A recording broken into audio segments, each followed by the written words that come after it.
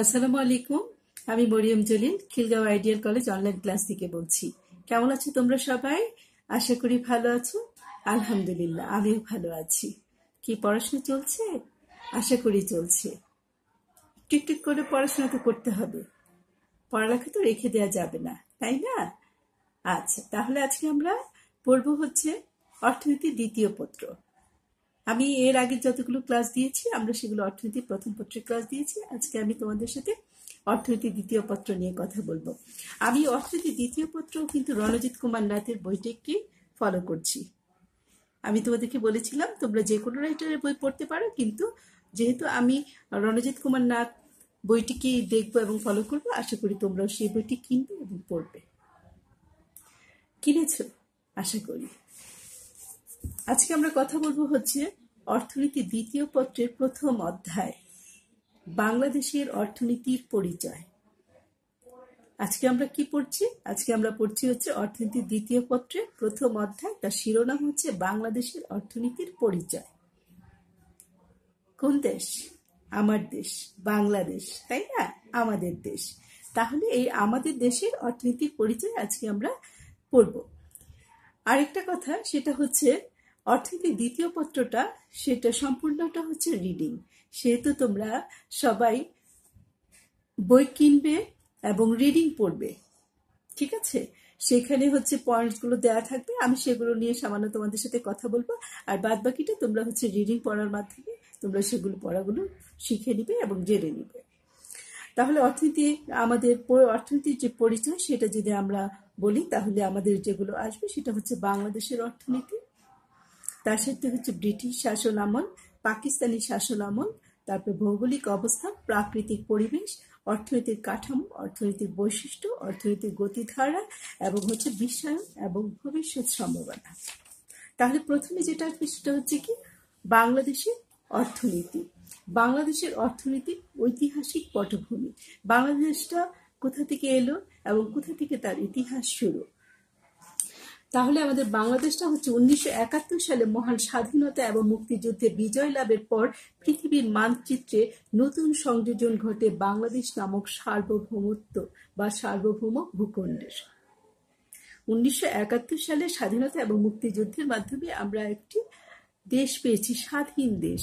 স্বাধীন, আমাদের লাল সবুজের পতাকা সেটি হচ্ছে আমার কি? বাংলাদেশ।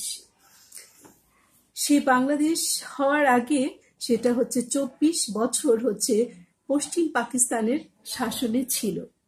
এবং তার আগে হচ্ছে একশো নব্বই বছর অর্থাৎ দুইশো বছর হচ্ছে আমরা ব্রিটিশদের শাসনে ছিলাম। এখানে বলা হচ্ছে যে আসলে এখানে ইতিহাসের শেষ নয়, পৃথিবীতে ঠিক কবে কখন মানুষ নামের প্রাণের সঞ্চার হয়েছে তার সঠিক ইতিহাস বা স্পষ্ট করে বলা যায় না। কিন্তু আমাদের যে ইতিহাসবিদ আছে এবং প্রত্নতাত্ত্বিক যে গবেষকরা আছে, তারা মানব সমাজের সূচনাকালকে তিনটি পর্বে ভাগ করেছে। একটি হচ্ছে প্রাগৈতিহাসিক, আরেকটা হচ্ছে সুপ্ত ঐতিহাসিক যুগ, আরেকটা হচ্ছে ঐতিহাসিক যুগ। আমাদের ইতিহাসবিদরা কয়টি ভাগে ভাগ করেছে? আমাদের এই মানব সূচনাকালগুলো মানে সময়টাকে একটা হচ্ছে তিনটি ভাগে। একটি হচ্ছে প্রাক ঐতিহাসিক যুগ আরেকটা হচ্ছে সুপ্ত ঐতিহাসিক যুগ আরেকটা হচ্ছে ঐতিহাসিক যুগ। এই তিনটি পর্বে এটাকে ভাগ করে নেওয়া হয়েছে।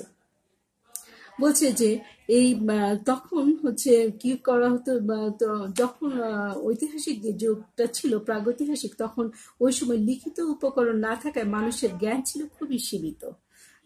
খুবই সীমিত তখনকার সময় পাথরই ছিল মানুষের খাদ্য গ্রহণের জন্য শিকারে বড় হাতিয়ার। তখন পাথর দ্বারাই তারা হাতিয়ার হিসেবে ব্যবহার করে, তারা কি করে করতো? খাদ্য জোগাড় করত এবং এই পাথর দ্বারাই তারা আত্মরক্ষা করত এবং আগুন জ্বালাতো। এবং এভাবেই পরিবর্তন এবং বিবর্তনের মাধ্যমে বর্তমান যে সভ্যতা আছে, সেই সভ্যতার হচ্ছে সূচনা হয়েছে। প্রাচীন যুগে অঞ্চলের ভিন্ন ভিন্ন অংশ ভিন্ন ভিন্ন নামে অভিহিত ছিল। যে প্রত্যেকটা যে জায়গা তার হচ্ছে ভিন্ন ভিন্ন নাম ছিল, ভিন্ন ভিন্ন অংশে সেটা হচ্ছে পরিচিত ছিল। এবং ঘন ঘন রাজনৈতিক পট পরিবর্তনের পট পরিবর্তনের অঞ্চলের সীমানা বহুবার পরিবর্তিত হয়েছে।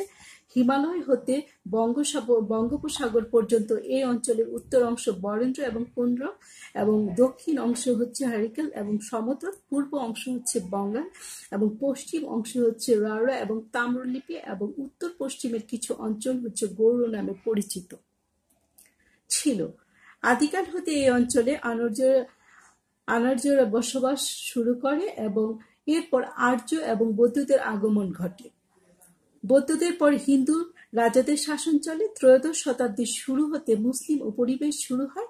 মুসলমান যুগে এই অঞ্চলের নাম হয় বাংলা বা বাংলা নামে অভিহিত হয়। তবে এক্ষেত্রে আলোচনার সুবিধার্থে উনিশশো একাত্তর সালের পূর্বে বর্তমান বাংলাদেশের দামক যে স্বাধীনতা সার্বভৌম দেশটি আছে তাকে কি হিসেবে বলা হতো? ভূখণ্ড হিসেবে অভিহিত করা হতো। আগেই বলেছি রিডিং পড়তে হবে, ভালো করে পড়তে হবে। দ্বিতীয় পত্রে হচ্ছে, সম্পূর্ণটাই হচ্ছে রিডিং সেটাকে ভালো করে তোমরা রিডিং করলে তোমাদের আয়ত্তে চলে আসবে পড়াগুলো। তাহলে এই যে কথাগুলো হলো, সেটা হচ্ছে উনিশশো একাত্তর সাল থেকে শুরু করে আমরা একাত্তর সালে আমাদের দেশটা পেয়েছি, সেটা কোথা থেকে এলো? সেটা হচ্ছে পাকিস্তানদের শাসনে ছিল হচ্ছে চব্বিশ বছর। তারপরে হচ্ছে, তার আগে দুশো বছর ছিল হচ্ছে আমাদের ব্রিটিশদের শাসনে আমরা ছিলাম। সেখান থেকে চড়াই উত্তরায় পেরিয়ে তারপরে আমরা কি পেয়েছি? আমাদের একটা, আমাদের এই সুন্দর বাংলাদেশটা পেয়েছি। এবং ব্রিটিশ পূর্ব যে শাসন শোষণ পদ্ধতি ছিল, সেটা হচ্ছে সুপ্রাচীন কাল হতে ভূখণ্ডের জনপদে, জনগণের প্রধান উপজীবিকা ছিল হচ্ছে কৃষি। বর্তমানে যে ধরনের হাল, লাঙল এগুলো জমি চাষ করা হয়, তখনকার সময় সেগুলো ছিল এবং কোনো কোনো জায়গায় হালের হালের যে গরু আছে সেটার পরিবর্তে পুরুষ এবং নারীদেরকে সেখানে ব্যবহার করা হতো জমি চাষের জন্য। সমাজ ব্যবস্থা ছিল কৃষি নির্ভর এবং সমাজের যে চাহিদাগুলো ছিল সেখানে হচ্ছে সেই গ্রামেই হচ্ছে সেগুলো উৎপাদনের মাধ্যমে সেখানকার চাহিদা মিটানো হতো। সমাজে সেগুলো চাহিদা মিটাতো সেগুলো। তারপর হচ্ছে খ্রিস্টীয় পঞ্চ শতকের কৌটিল্যের অর্থশাস্ত্রে দুর্লভ ক্রিমিজাম হচ্ছে শিল্পসমূহ বিভিন্ন বস্ত্রের কথা উল্লেখ করেছে। প্রাচীনতম গ্রন্থ চর্চাপদে এই সময়ের অর্থনীতির স্বরূপ জানা যায়। সুপ্রাচীন কাল থেকে প্রায় দুশো বারোশো খ্রিস্টাব্দ পর্যন্ত এরূপ কৃষিকেন্দ্রিক অর্থনীতি বিদ্যমান ছিল। প্রাচীন যুগের এই অর্থনীতিতে অনেকে আদি এবং হিন্দু যুগের অর্থনীতি হিসেবে অভিহিত করেন। তখন উল্লেখযোগ্য কোনো প্রযুক্তির উন্নয়ন হয়নি। তখন প্রযুক্তির কোনো ছোঁয়া সমাজে ছিল না। এই যে কথাগুলো বললাম। এই কথাগুলো হচ্ছে তোমরা এখানে রিডিং পড়বে, ভালো করে রিডিং পড়বে। তারপরে আসলে হচ্ছে বারোশো হতে সতেরোশো সাতান্ন খ্রিস্টাব্দ পর্যন্ত মধ্যযুগের অর্থনীতিতে এই হচ্ছে মুসলিম যুগের শাসন আমল লক্ষ্য করা যায়। এখানে সুপ্রাচীন কাল থেকে বারোশো খ্রিস্টাব্দ পর্যন্ত কৃষি কেন্দ্রিক অর্থনীতি বিদ্যমান ছিল এবং সেই সময়টাকে বলা হতো কি? আদি এবং হিন্দু যুগের অর্থনীতি।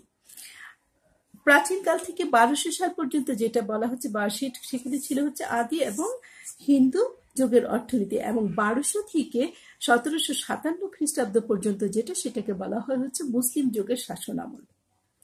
মুসলিম যুগের শাসন আমল। ঠিক আছে? তাহলে এভাবেই শাসন আমলগুলো তোমরা হচ্ছে এখানে আছে রিডিংগুলো রিডিং করে নিবে সেগুলো তোমরা সবাই। তারপরে আছে হচ্ছে ব্রিটিশ শাসন আমলের কথা দেয়া আছে। তারপরে পাকিস্তানি শাসন আমলের কথা দেওয়া আছে। ব্রিটিশ শাসন আমলটা হচ্ছে সতেরোশো সাতান্ন সালে পলাশি যুদ্ধের জয়লাভের পর এই অঞ্চলে দেওয়ানি লাভ করে এবং ইংরেজি দেওয়ানি লাভ করে কি? ইংরেজ কোম্পানি দেওয়ানি লাভের পূর্বে তারা ব্যবসায় কোনো মুনাফা ইংল্যান্ডে পাঠিয়ে দিত এবং দেওয়ানি এবং রাজনৈতিক ক্ষমতা লাভের পর তাদের মুনাফা সুযোগ আরও বৃদ্ধি পায়। এখানে ব্রিটিশ শাসন আমলের কথা দেয়া আছে। তারপরে দেয়া আছে হচ্ছে পাকিস্তান শাসন আমলের কথা। এখানে ব্রিটিশ শাসন আমল যেটা আছে সেটা হচ্ছে সতেরোশো সাতান্ন সাল থেকে উনিশশো সাতচল্লিশ সাল পর্যন্ত। সতেরোশো সাতান্ন সাল থেকে উনিশশো সাতচল্লিশ সাল পর্যন্ত। আর পাকিস্তানি আমলে যেটা শাসন আমল সেটা দেওয়া আছে উনিশশো সাতচল্লিশ সাল থেকে উনিশশো একাত্তর সাল পর্যন্ত। তাহলে ব্রিটিশ সামল ব্রিটিশ শাসন হচ্ছে দুশো বছর এবং পাকিস্তানি শাসন হচ্ছে চব্বিশ বছর। চব্বিশ বছর। তারপরে এখানে যে আমরা ব্রিটিশদের যে শাসন সেখান থেকে বেরিয়ে এসে আমাদের উনিশশো সাতচল্লিশ সালে আমাদের পাকিস্তানের শাসনে যে আমরা আম, ছিলাম চব্বিশ বছর সেখানে আমরা সেই উনিশশো সাতচল্লিশ সাল থেকে উনিশশো একাত্তর সাল পর্যন্ত এই চব্বিশ বছরের মধ্যে কেন আমরা ওদের কাছ থেকে আলাদা হলাম? কেন ওদের কি অরাজকতা আমাদের সাথে ওরা করেছিল। প্রত্যেকটা ক্ষেত্রে ওরা আমাদের কি করেছে? আমাদের বৈষম্য। আমাদের সেই বৈষম্যগুলো কিসে কিসে ছিল? আমাদের ভৌগোলিক যে বিষয় ছিল, সেখানে আমাদের ব্যবধান ছিল। পূর্ব পাকিস্তান এবং পশ্চিম পাকিস্তানের মধ্যে ভৌগোলিক দূরত্ব হচ্ছে ষোলোশো কিলোমিটার বা এক হাজার মাইল। দুটো অঞ্চলের মাঝে অন্য একটি স্বাধীন দেশ হচ্ছে ভারত।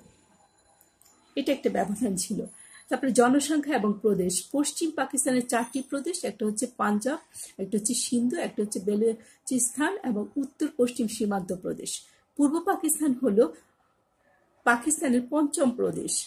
কিন্তু পাকিস্তানের মোট জনসংখ্যার চুয়ান্ন পার্সেন্ট হলো পূর্ব পাকিস্তানে, অথচ পশ্চিম পাকিস্তানের পাঞ্জাব প্রদেশ সমগ্র পাকিস্তানের কর্তৃত্বের দায়িত্ব গ্রহণ করে। সেটা আমাদের একটা সমস্যা আমাদের, সেদিক থেকে ওরা আমাদেরকে সবসময় একটা জটিল ইসের মধ্যে ফেলে রাখতো। যে সবসময় আমাদেরকে নিয়ে ওদের সমস্যা ওরা যেটা বলবে সেটাই আমাদেরকে মেনে নিতে হবে। আমাদের কোনো কিছু বলা, আমাদের কোনো কিছু রাইট সেখানে ছিল না। কৃষি ক্ষেত্রে পূর্ব পাকিস্তান ছিল কৃষিতে উদ্বৃত্তাঞ্চল অথচ পশ্চিম পাকিস্তানে তখন ঘাটতি। পূর্ব পাকিস্তান প্রধান উৎপাদিত পণ্য হচ্ছে পাট। পশ্চিম পাকিস্তান ছিল তুলা এবং উনিশশো চৌষট্টি পঁয়ষট্টির হিসেব অনুযায়ী পূর্ব পাকিস্তানের মোট উৎপাদনের আটান্ন ভাগ এবং পশ্চিম পাকিস্তানের ছিল হচ্ছে চল্লিশ ভাগ কৃষিতে অবদান। আমাদের বাংলাদেশে ছিল হচ্ছে আটান্ন ভাগ এবং পশ্চিম পাকিস্তানের ছিল হচ্ছে সেখানে চল্লিশ ভাগ। ব্যাংকিং এবং অর্থায়নের নিয়ন্ত্রণ, উনিশশো সাতচল্লিশ সালে এদেশ বিভাজনের পর মুসলিম মালিকানাধীন ব্যাংকসমূহ বন্ধ হতে করাচিতে স্থানান্তরিত হয়। তারপর পূর্ব পাকিস্তানে যে বিনিয়োগ হয় তা আসে পশ্চিম পাকিস্তান হতে আন্তর্জাতিকভাবে এবং চাহিদা ক্রমহ্রাসমান হওয়া সত্ত্বেও পূর্ব পাকিস্তানের বিনিয়োগ হয় এবং পাট এবং পাটজাত দ্রব্য উৎপাদনে। পশ্চিম পাকিস্তানের আদমজির পরিবার পাঞ্জাব নারায়ণগঞ্জের পৃথিবীর বিখ্যাত পাট প্রক্রিয়াজাতকরণ কারখানা স্থাপন করে। জাতীয় মাথাপিছু আয় উনিশশো উনপঞ্চাশ পঞ্চাশ সালে পূর্ব এবং পশ্চিম পাকিস্তানের মাথাপিছু আয় ছিল হচ্ছে তিনশো পঞ্চাশ টাকা এবং তিনশো তিরিশ টাকা। এই যে সব কিছু এগুলো সব কিছুই হচ্ছে ওরা আমাদের সাথে, আমরা ওদের থেকে এগিয়ে থাকলেও ওরা আমাকে, আমাদের পশ্চিম পাকিস্তানরা আমাদের পূর্ব পাকিস্তানকে সব বিষয়ে দাবিয়ে রাখতো।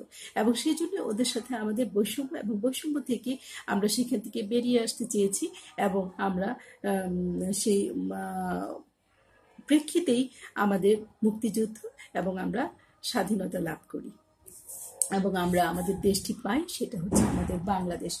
সেখানে নিয়োগ বলো, কর্মসংস্থান বলো অন্ধ্রপ্রদেশের বাণিজ্য বলো সব কিছুতে প্রকৃতির হার, অন্যান্য ক্ষেত্রে, সকল ক্ষেত্রে হচ্ছে ওরা আমাদেরকে দমিয়ে রাখার চেষ্টা করত এবং সেখানে থেকে আমরা সেই পাকিস্তানি শাসন আমলের শোষণ এবং নির্যাতনের বিরুদ্ধে এ ভূখণ্ডের মানুষ আন্দোলন সংগ্রামে এবং পঁচিশে মার্চ উনিশশো একাত্তরের তারিখে স্বাধীনতার আন্দোলন শুরু হয় এবং দীর্ঘ নয় মাস যুদ্ধ করার পর উনিশশো একাত্তর সালে ষোলোই ডিসেম্বর আমরা আমাদের বাংলাদেশকে পাই।